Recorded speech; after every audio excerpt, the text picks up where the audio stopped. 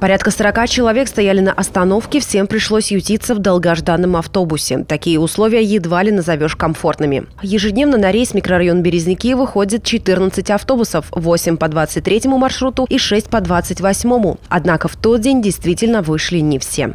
Да, действительно, 12 января с 7.30 не было выполнено несколько рейсов подряд по маршрутам 23 и 28 в течение 30 минут. Как пояснил перевозчик, все пропуски связаны с большим количеством заболевших водителей. И один автобус сошел с линии по технической неисправности. С 8 утра перевозчик принял необходимые меры, перераспределил водителей и ситуация нормализовалась. Перевозчик приносит свои извинения за доставленные неудобства. Всю актуальную информацию о причинах отсутствия автобусов 23 и 28 маршрутов можно узнать в диспетчерской службе МУП «Водоканал» по телефону, указанному на экране.